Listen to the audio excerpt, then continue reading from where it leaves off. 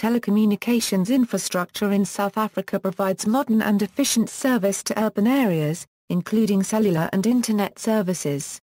In 1997, Telkom, the South African telecommunications parastatal, was partly privatized and entered into a strategic equity partnership with a consortium of two companies, including SBC, a U.S. telecommunications company. In exchange for exclusivity to provide certain services for five years, Telkom assumed an obligation to facilitate network modernization and expansion into the unserved areas.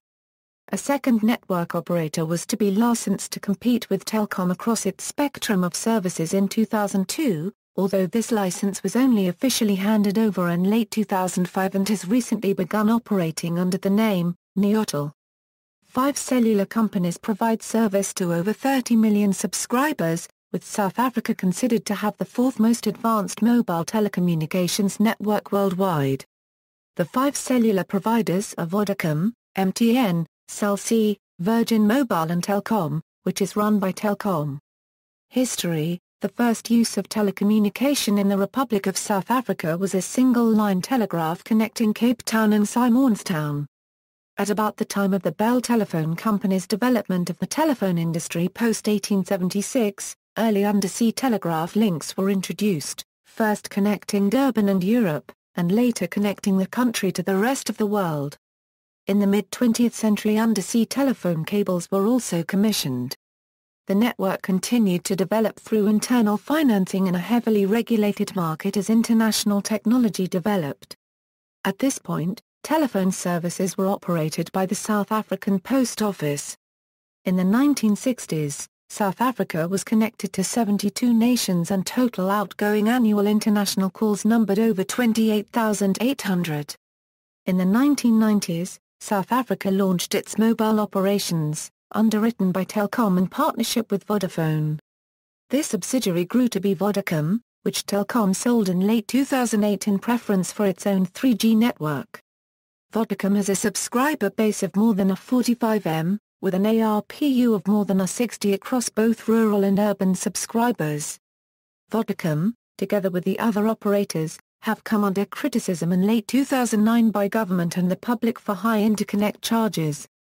This issue is currently being discussed by the Parliamentary Committee on Telecommunications. In 2004, the Department of Communications redefined the Electronics Communications Act, which consolidated and redefined the landscape of telecommunications licensing in South Africa. The Independent Communications Authority currently licenses more than 400 independent operators with the Electronic Communications Network license as well as issuing Electronic Communications Service licenses for service deployment over infrastructure in the retail domain. Telkom is no longer the single operator in South Africa and faces competition from the second fixed network operator licensee, Neotel, as well as the three mobile operators, Vodacom, MTN and Cell C. However, it still receives criticisms from smaller operators in the Competition Commission for setting South African broadband pricing in its favor. Television Four main television stations are available to the public. These are namely SABC 1, SABC 2, SABC3 and ETV. Other community-based stations are also on offer, such as Soweto TV and Cape Town TV. DSTV is currently South Africa's only operating and Africa's largest satellite television provider. The company provides over 100 video and over 78 audio channels, and in 2008 introduced its first HD video channel. Since then an additional five HD channels have been introduced, namely Mnet HD, Supersport HD, Discovery HD, Supersport HD 2, Mnet Movies 1 HD and Supersport HD 3. In 2008, additional pay TV licenses were granted to various companies in South Africa. As of January 2010, none of the companies granted a license have begun providing services. However, on digital media, have stated that they are on track to begin sale of their product in May 2010, and the prices will be significantly cheaper than their competitor DSTV.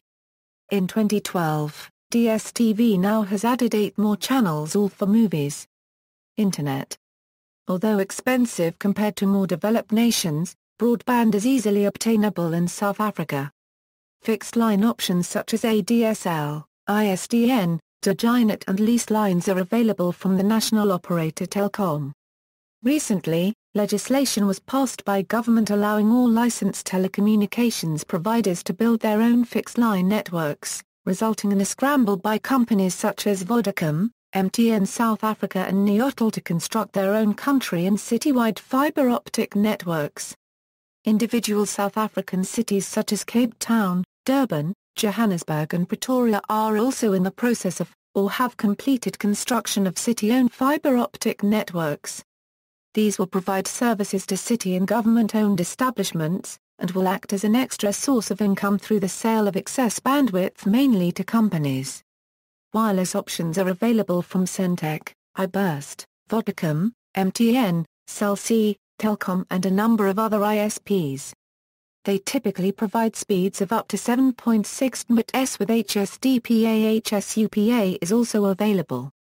MTN South Africa was among the very first mobile networks in the world to offer HSDPA services to its customers.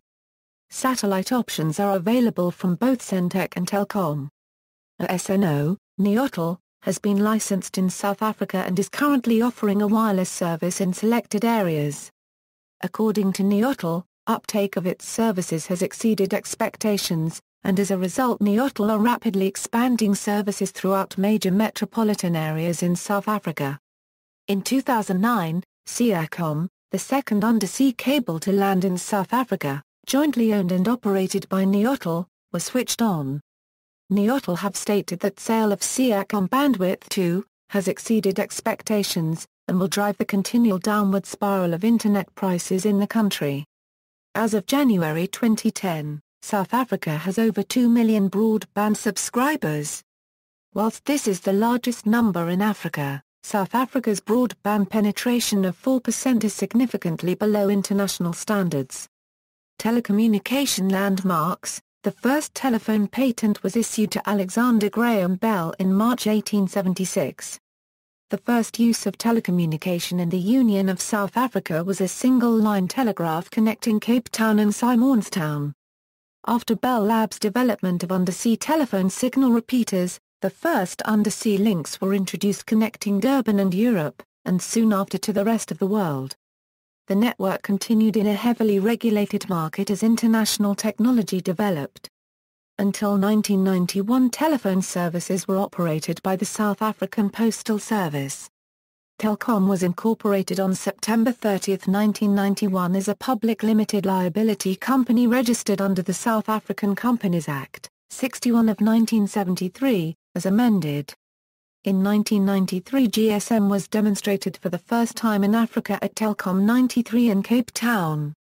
In 1994 the first GSM networks in Africa were launched in South Africa. The first public video conference between the continent of Africa and North America occurred on June 24, 1995.